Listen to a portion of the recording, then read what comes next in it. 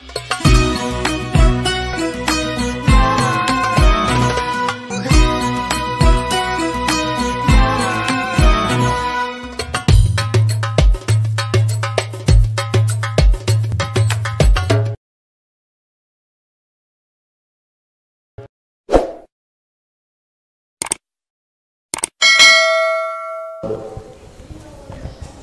Ma'asyiral hadirin wal hadirat Bapak Ibu, saudara-saudariku yang insya Allah pada kesempatan waktu yang mana waktu ini adalah salah, salah satu waktu dari sekian banyak waktu yang mustajab, yang penuh dengan faidah, yang penuh dengan berkah, yang mudah-mudahan yang hadir pada malam hari ini senantiasa ada dalam taufik hidayah ridha dan inayah dan selalu ada dalam perlindungan dan kesehatan daripada Allah Subhanahu wa taala.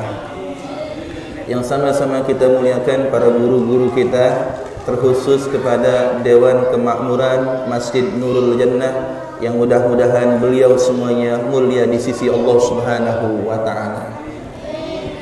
Bapak sehat Bapak? Sehat semuanya? Sehat walafiat? Sehat itu lebih cenderung kepada keberadaan jasmani kita. Kalau afiat itu lebih cenderung kepada kondisi batin kita.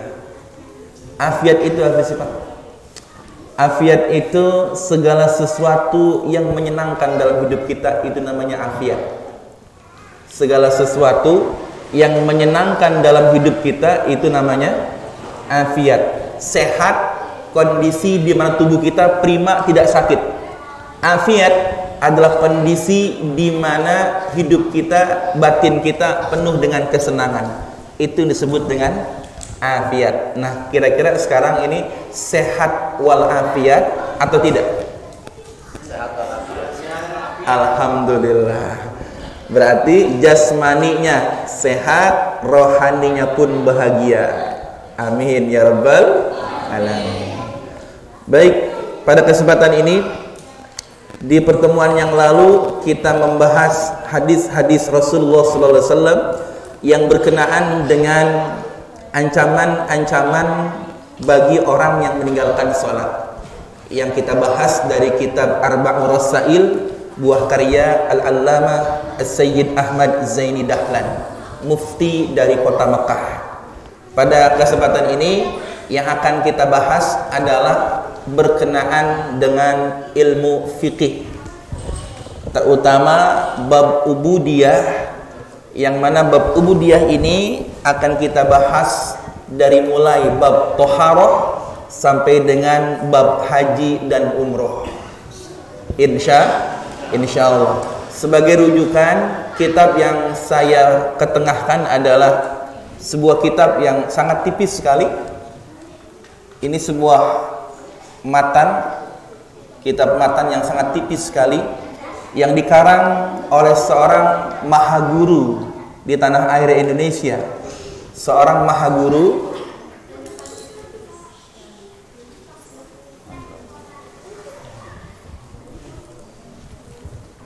seorang mahaguru yang dengan pendidikannya lahir dua tokoh setidaknya dua tokoh yang sangat terkenal Tokoh yang pertama nantinya yang akhirnya mendirikan suatu organisasi yang bernama Nahdlatul Ulama.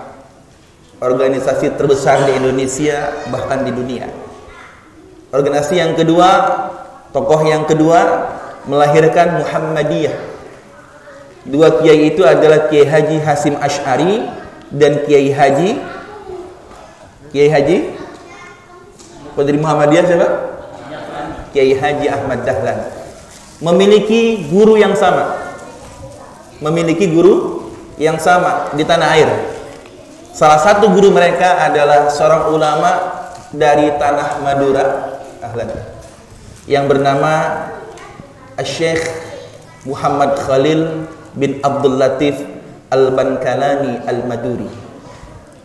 Atau lebih dikenal dengan nama Syekhona Khalil Bangkalan Madura Beliau ini melahirkan ribuan ulama di tanah air yang levelnya bukan hanya Indonesia tapi ke tanah Jazirah Arabia dan lain sebagainya. Dan kitab yang akan kita baca ini adalah buah karya beliau yang memang tidak banyak dicetak keluar tapi kami mendapatkannya langsung dari keturunannya uh, Syekh Khalil Bangkalan ya, ini memang tadinya di kalangan pesantren khusus beliau tapi kami mendapatkannya nah ini yang akan kita baca ya, buah karya ulama Nusantara yang mendunia Kiai Haji uh, Muhammad Khalil bin Abdul Latif Bangkalan Madura.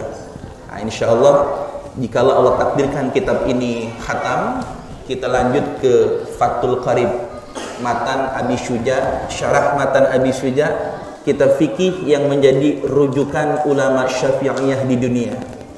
Kalau Fathul Qarib selesai, kita lanjut lagi ke Fathul Mu'in. Mudah-mudahan yang lebih tinggi lagi. Kalau Allah takdirkan kita masih isi istiqomah taklim fikih di sini, kita lanjut ke Fathul Wahab insyaallah.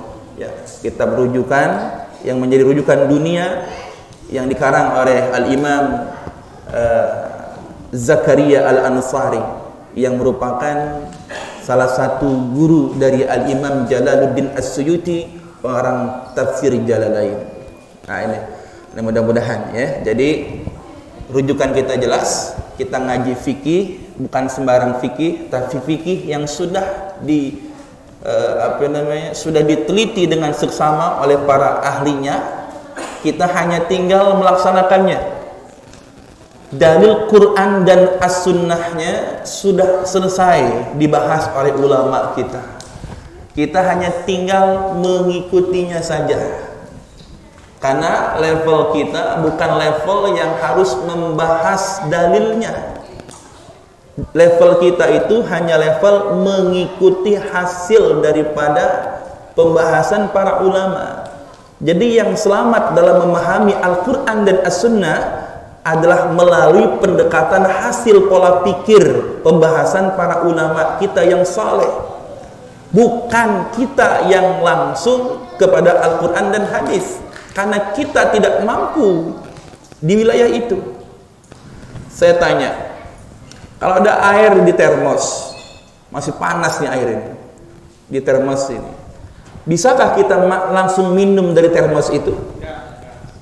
Pakai apa kita pakai apa pakai gelas bisa nggak minum dari termos langsung Hah?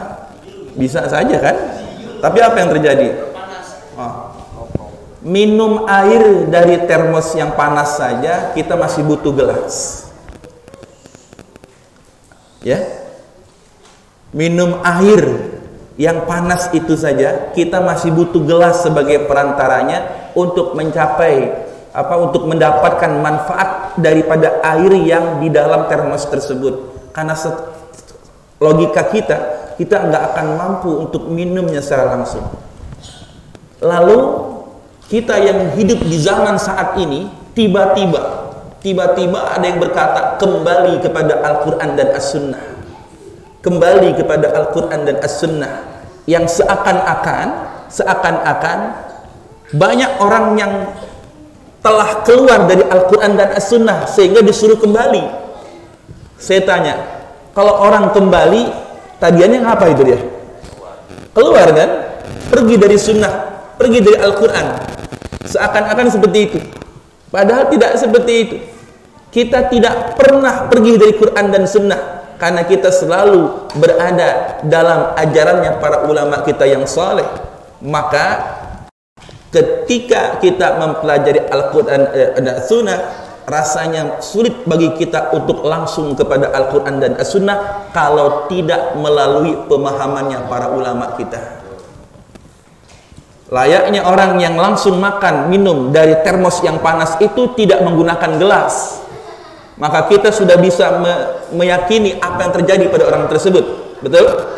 maka oleh karena itu kalau ingin faham Quran dan Sunnah pahamilah apa yang dipahami para ulama kita. Karena mereka lah nasirus sunnah. Mereka lah ulama-ulama kita yang betul-betul memahami akan Al-Quran dan As-Sunnah. Kita pengikut beliau-beliau.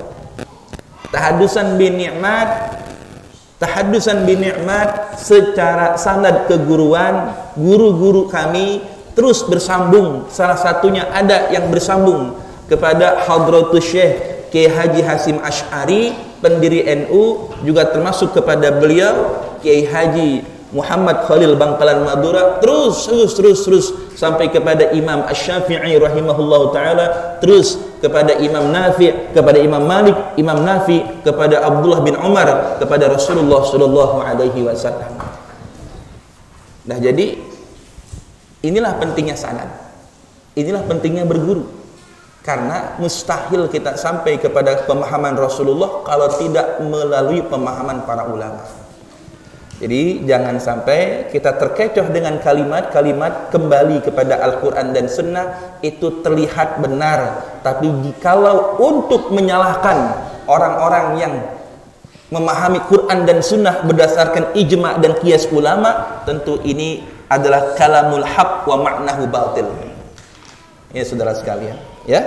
Nah, jadi kita ngaji fikih, kita ngaji fikih dari pemahaman ulama-ulama kita guru-guru kita yang insya Allah tidak akan keluar dari pemahaman Al-Quran dan hadis insya Allah baik.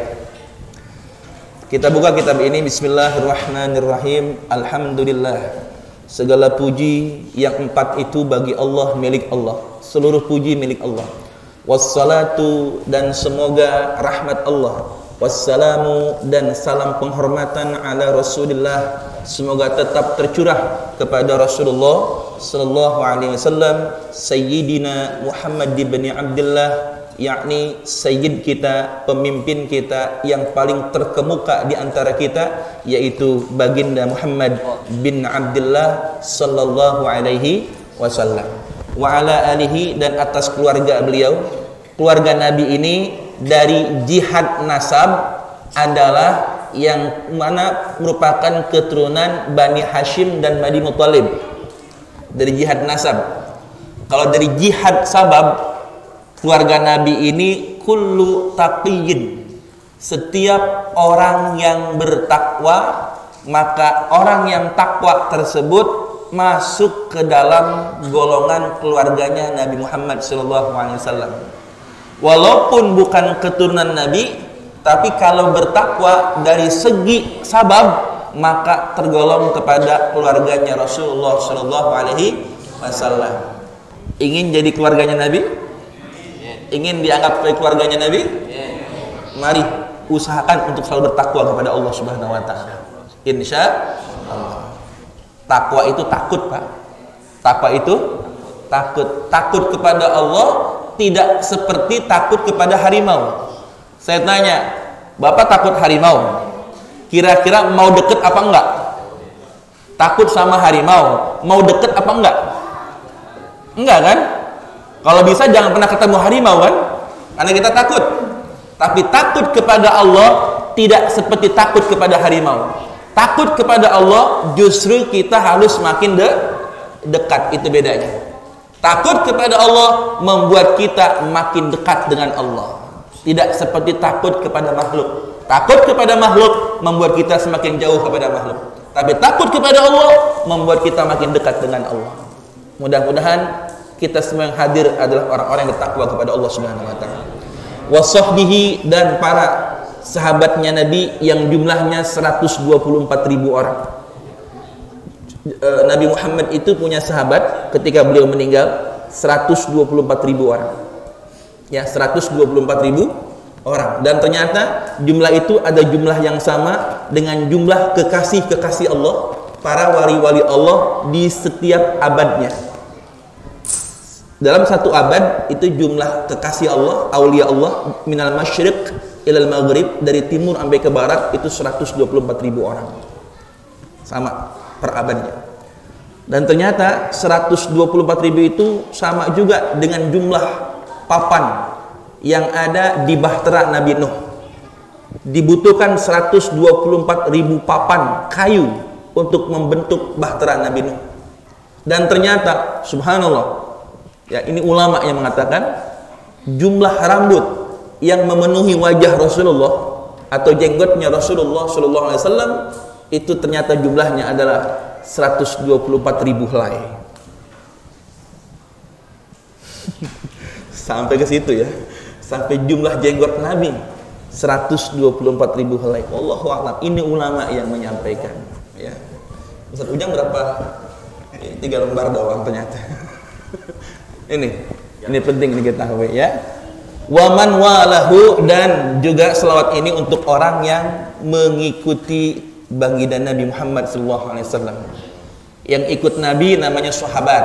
Yang ikut sahabat setelah Nabi tiada itu namanya tabiin. Ya, setelah sahabat habis yang ngaji kepada tabiin namanya tabiit tabiin. Itu adanya di tiga abad pertama sampai abad ketiga hijriah. Sekarang abad ke-14. Sekarang abad ke 14 berarti salafun soleh sudah berakhir 11 abad yang lalu. Abad keempat kemari itu disebut mutaakhirin. Termasuk kita nih yang paling boncos. Kita di abad keempat belas ya. Abid tabiin berakhir di abad ke ketiga hijriah. Nah kita tinggal mengikuti ulama-ulama yang ada di abad ini sudah selesai agama ini sudah sempur sempurna ikuti pemahaman mereka. Ya insyaallah. Qala nabi sallallahu alaihi wasallam telah bersabda baginda nabi sallallahu alaihi wasallam talabul ilmi fardhatun baik kitab ini dibuka dengan sebuah hadis yang sangat masyhur sahih. Talabul ilmi menuntut ilmu itu fardhatun wajib. Kudu ya ku ngaji fardu ngopi kudu. Ngaji fardu ngopi mm -mm. penting. Ya. Makanya menuntut ilmu itu wa wajib. Tolabul ilmi faridatun. Wajib saudara. Nah ini kewajiban yang bagaimana? Menuntut ilmu itu kewajiban yang harus sepanjang hidup. Istilah orang apa ya, orang keranggan kidul itu long life education. Long life education. Pendidikan itu seumur hidup. Itu konsep agama kita sebenarnya. Utlubul ilma minal mahdi ilal lahdi kan itu. Tuntutlah ilmu dari mulai gendongan sampai dengan bedongan. Dari mulai digendong sampai dibedong. Digendong emak sampai dengan dibedong kain ka kain kafan. Dari mulai digendong sampai dengan dibedong. Anak salon tau bedong nggak? Ini nggak pernah dibedong nih anak ini kayaknya nih. Nggak pernah dibedong kelihatannya nih. Kelihatan. Dari mulai digendong sampai di di bedong. Kalau belum di bedong kain kafan, jangan berhenti kita ngaji. Insya ya. Buat siapa wajibnya? Ala kulli muslimin wa muslimatin. Ya, untuk setiap muslim laki-laki dan muslim perempuan. Yang laki ngaji, yang perempuan ngaji. Yang kaya, yang enggak kaya, pejabat, bawahan, pedagang, yang brengsek? Haji semuanya kudu? Haji. Nggak peduli. Ya. Kenapa? Faridotun. Wajib ala kuli muslimin. Di sini muslimin tidak pakai alif lam. Tidak pakai alif lam. Tandanya apa? Umum. Kalau umum siapa pun yang menyatakan dirinya Islam laki perempuan wajib menuntut il, ilmu. Berarti ngaji wajib tidak Ngaji wajib tidak? Kalau ngaji dapat apa? Dapat dapat mantu gitu mantu. Dapat mertua. Kalau ngaji dapat ilmu, dapat pahal.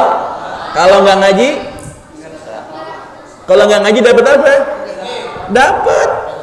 Dapat apa? Dosa. Tuh. Mantap kudu ngaji. Alhamdulillah Berarti yang malam ini ngaji, insya Allah dapat ilmu, dapat pahala.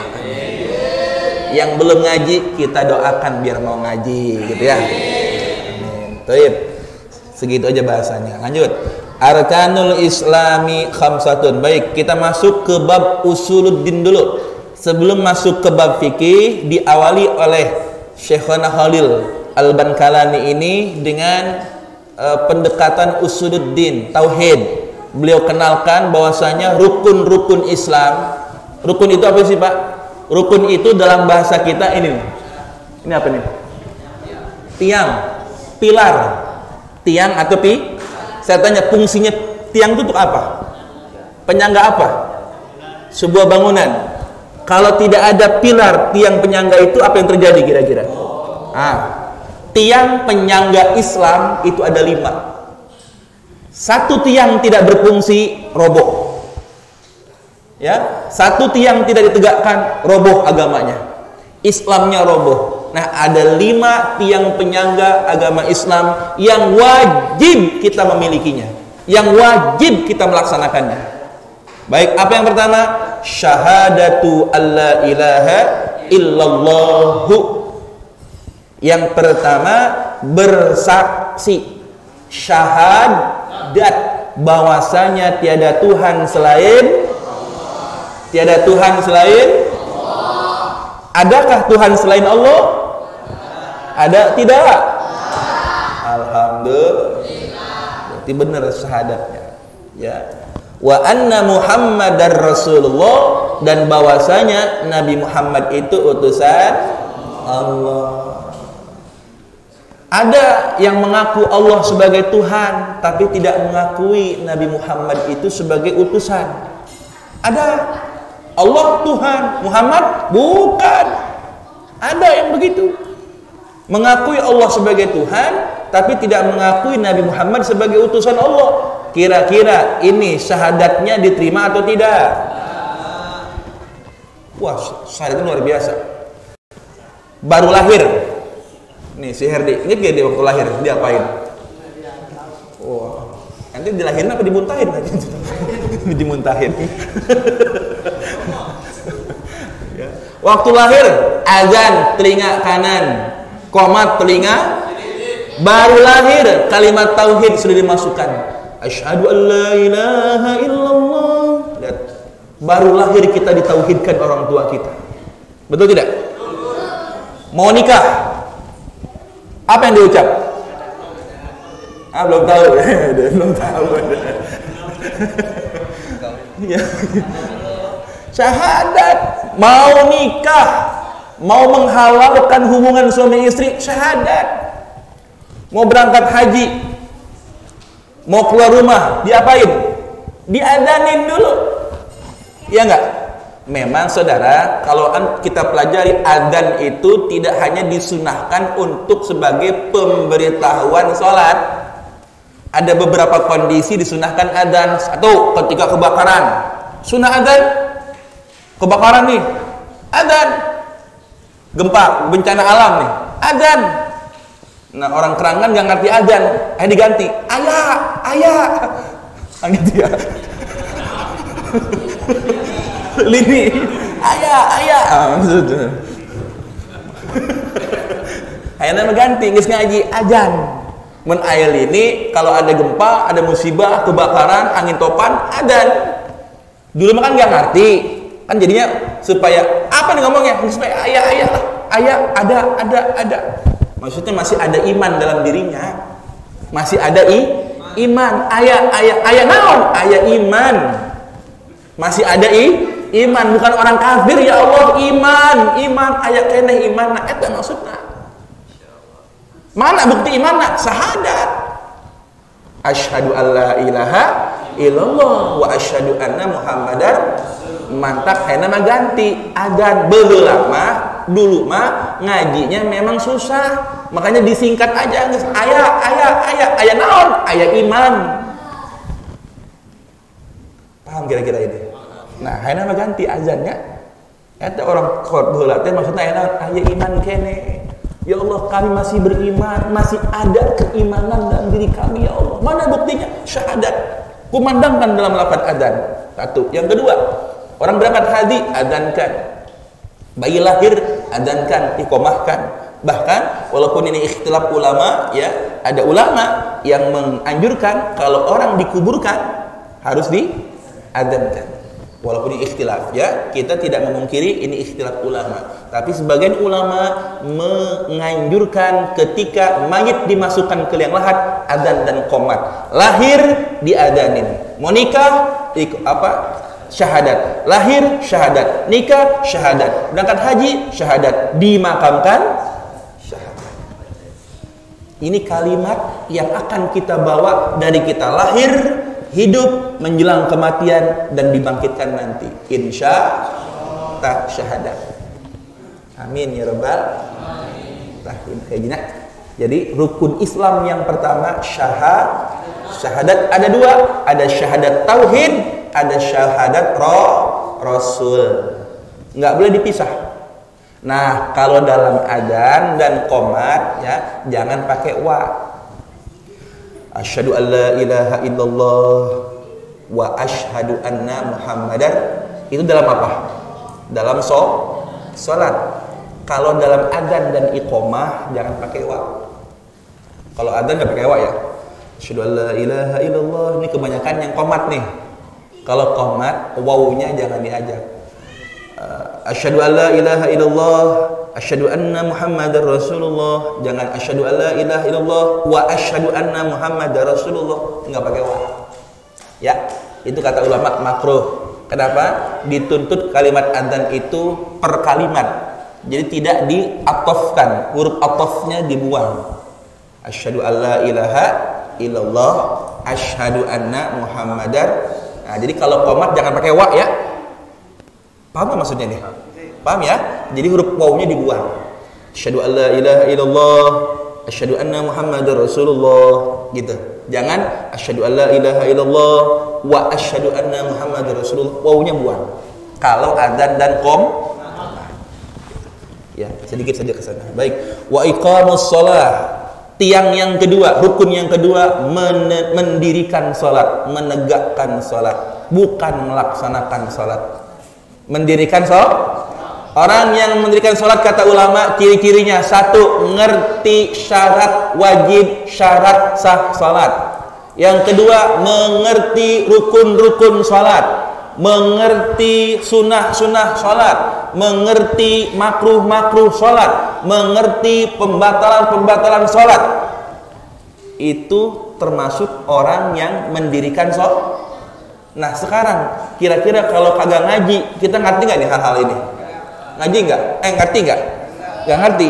Makanya kalau ingin termasuk orang yang mendirikan salat, kudu ngaji, pahami syarat-syarat ini. Kalau belum paham ini berarti kita baru sekedar melaksanakan sholat. Beda. Kalau melaksanakan itu sekedar melaksanakan. Tapi kalau menegakkan, artinya orang ini menegakkan tiangnya dengan betul-betul. Kalau tiang asal berdiri, ini tiang nih asal berdiri nih, misalkan saya tanya apa yang terjadi nih? Hah? Nggak bakal ngaji di sini kita. Rubuh? Ya nggak? Saya yakin ketika membuat tiang ini konstruksinya udah luar biasa ini. Kedalamannya, ya, ceker ayamnya, ya nggak? Adukan semen dan pasirnya, komposisinya luar biasa. Pasti kenapa? Karena menegakkan tiang, bukannya hanya sekedar membuat tiang. Karena membuat tiang tanpa perhitungan apa pun berdiri tiang itu. Tapi kokoh tidak. Tegak tidak. Tidak. Nah sholat juga begitu. Kalau sekedar melaksanakan bisa. Tunggang tungging sujud. Ya imam sujud imam ruku ikut ruku. Imam sujud ikut sujud. Imam gagaro ikut gagaro. Imamnya bersin ikut bersin. Imam yang batal hitut ikut hitut juga. Dan kumaha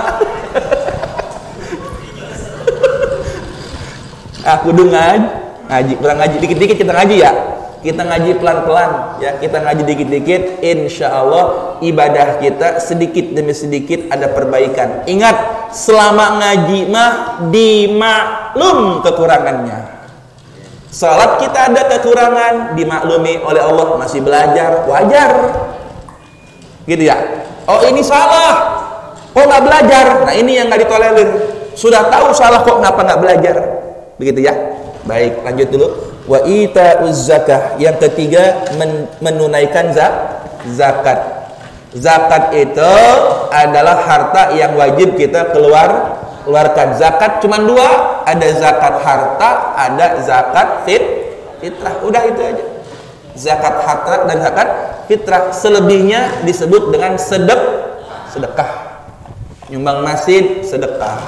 Sedekah sun sunnah. Sedekah itu dua, Pak. Ada sedekah wajib disebut zakat. Sedekah wa, wajib disebut dengan za, zakat. Nah, selain dari zakat itu disebut dengan sedekah sunnah. Menyantuni fakir miskin, menyumbang ke masjid, ya nyumbang ke Ustaz Kosim yang lagi ada masalah keuangan misalkan ya, itu juga hukumnya sedekah sun sunnah jelasin ya lanjut aja dulu wa saumu ramadan yang tiang yang keempat adalah puasa di bulan Roma Ramadan ini juga tiang yang keempat wajib puasa wayahna wayahna orang puas puasa yang ditutup puasa cuma satu bulan yang sebelas bulan bebas Ya enggak? Bulan kan 12. Yang dituntut puasa satu bulan penuh cuman sebulan. Yang sebelas bulannya bebas. Maksud saya bebas, mau puasa silakan, tidak pun silakan. Kan sunnah di bulan-bulan yang lain ya. Hanya bulan Ramadan yang wajib. Nah pertanyaan saya, 11 banding 1 masih banyakkan bebasnya, masih banyakkan puasanya. Tapi anehnya kita mah masih malas-malasan juga ya hari pertama kuat hari kedua mulai sakit emah ya sakit emah batur sahur milu sahur batur buka tiburan batur puasa manena jajan samangka nah gitu nya ulah gitu orang mah kalau kita ingin menegakkan tiang agama Islam puasa puasa. Yang kelima, nah ini, ini mah spesial. Tiang yang ini mah hanya berlaku untuk yang mampu saja. Kalau tiang yang empat tadi, rukun yang empat tadi, wajib mutlak siapa pun harus. Tapi tiang yang kelima ini, rukun yang kelima ini spesial hanya bagi yang mampu saja. Ngapain? Wahijul baiti man istata'a ilaihi sabila. Dan menunaikan haji ke Baitullah.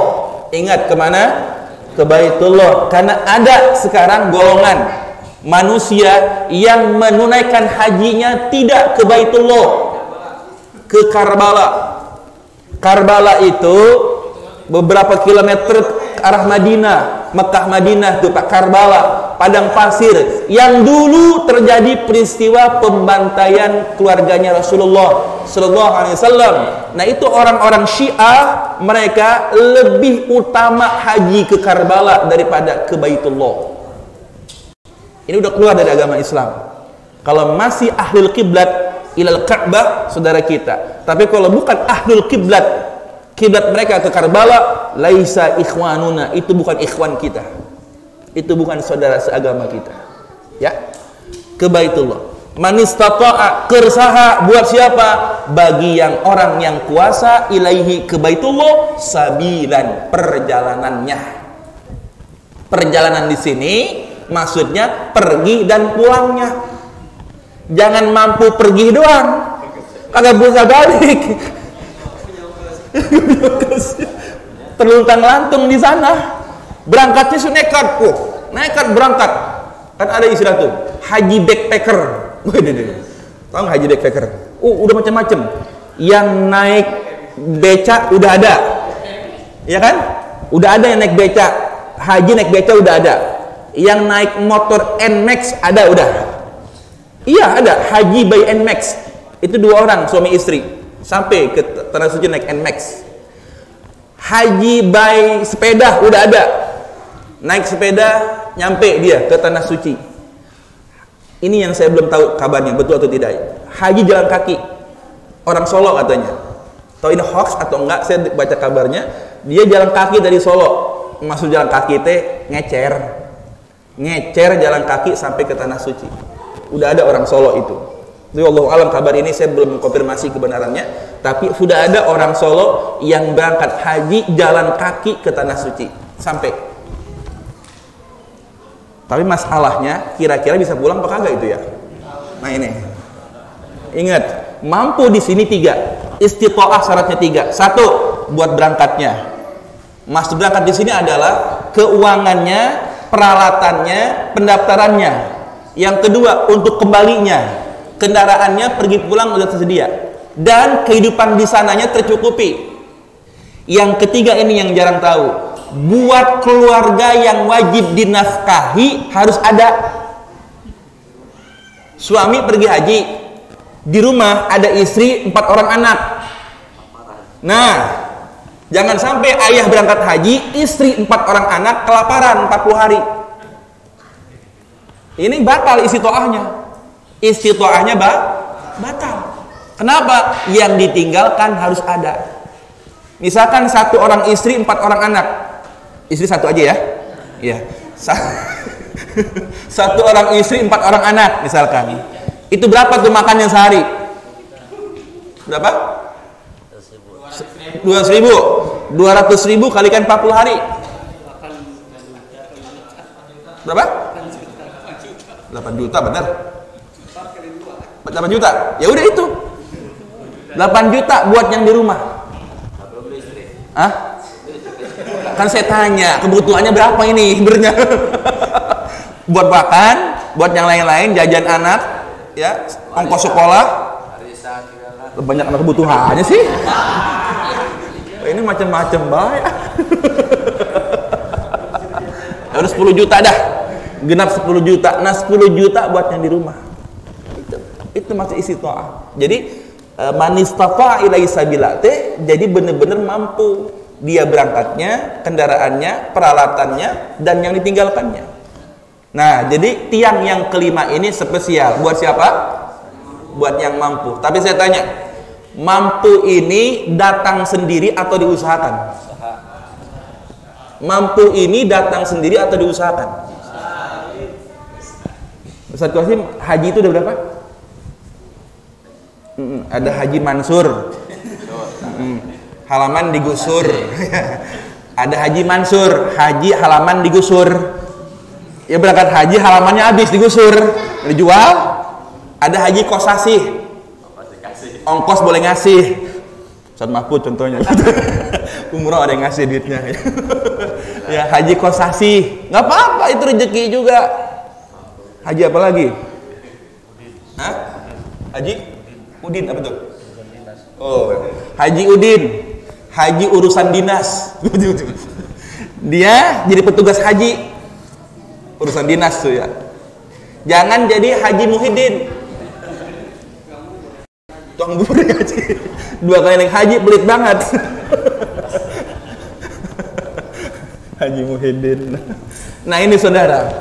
Jadi apa pun tipikal hajinya haji itu ada yang karena nisob ada yang karena nasib. Ada nisob ada nasib. Nisob mah memang uangnya punya hartanya cukup berangkat. Ada yang karena nasib tidak punya uang tidak punya uang. Anak muda lagi nggak huleng di pinggir jalan ya bingung kerjaan nggak punya ya pengen jajan nggak huleng aja di pinggir jalan tuh si Ansar. Eh tiba-tiba mobil mogok di depan dia. Karena dia anak muda yang baik hati yang tidak sombong ya, dan tidak pernah makan sabun mandi alhamdulillah ya. Kan baik tidak makan sabunnya akhirnya mobil mogok didorong pak ayo pak saya dorong pak. Ternyata di dalam mobil itu ada ibu hamil yang mau melahirkan buru-buru. Suaminya panik mobil mogok. Ada ansar lewat eh lagi ngehulang di jalan tuh. Didorong tuh mobil. Pas didorong karena terburu-buru langsung pergi tuh mobil. Ya langsung pergi dan akhirnya nggak baik lagi. Ansar baik hati, nggak apa-apa. Mungkin orang itu buru-buru. Hmm. Coba kalau kita sambar, sambar geledek tuh Terima kasih kagak, apa kagak? Main pergi aja. Padahal ternyata dia terburu-buru istrinya mau melahirkan. Singkat cerita, ternyata orang itu tidak lupa sama orang yang mendorong mobilnya. Dia azam bahwa saya ingin berangkat haji bersama orang yang mendorong mobil saya itu. Eh, bener nasib si Ansar. Padahal lagi bengong itu pinggir jalan. Emang dasar nasib dia kan? Nggak nyangka ternyata diberangkatin haji gara-gara ngedorong mobil doang. Amin atau Sarah? Apakah ini kejadian? Ini saya ceritakan sesuai kejadian nyata yang pernah dialami. Silakan ada buku-buku keajaiban haji.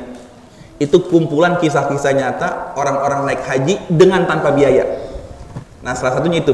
Itu kisah seorang tukang kebun di sebuah komplek ya yang mendorong sebuah mobil yang isinya perempuan yang hendak melahirkan. Lalu keluarga itu berterima kasih dengan memberangkatkan haji orang itu. Ini kisah nyata. Nah, ini Saudara. Nah jadi ada nasib, ada nisab. Sekarang pertanyaannya adalah sejauh mana cita-cita kita untuk ke tanah suci? Sejauh mana keinginan kita untuk ke tanah suci? Kira-kira pengen apa enggak? Pengen doang? Pengen banget. Pakai banget. Ya. Sekarang ayo gantungkan niat kita di depan pintu Ka'bah. Ya. Gantungkan niat kita taruh di pintu Ka'bah. Biar nanti biarkan biarkan jasad ini belum sampai tapi niat kita sudah menggantung di pintu Ka'bah.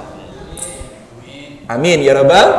Nah begitu caranya. Ya. Nah inilah lima rukun. Empat rukun wajib mutlak untuk siapa pun. Rukun yang kelima tiang yang kelima spesial bagi orang yang memiliki spesifikasi kemampuan atau isi to'ah dalam dirinya. Ya? Nah kalau lima rukun ini sempurna ada dilaksanakan pada diri seseorang maka sempurnalah rukun Islamnya insya Allah nah itu yang nanti akan kita pelajari di kitab ini. Lima rukun tersebut yang akan kita pelajari di kitab ini dari mulai syahadat sampai dengan haji ini yang akan kita pelajari dalam kitab ini ya tadi itu secara globalnya aja penjelasan global global. Nanti secara detail akan dibahas dalam kitab ini.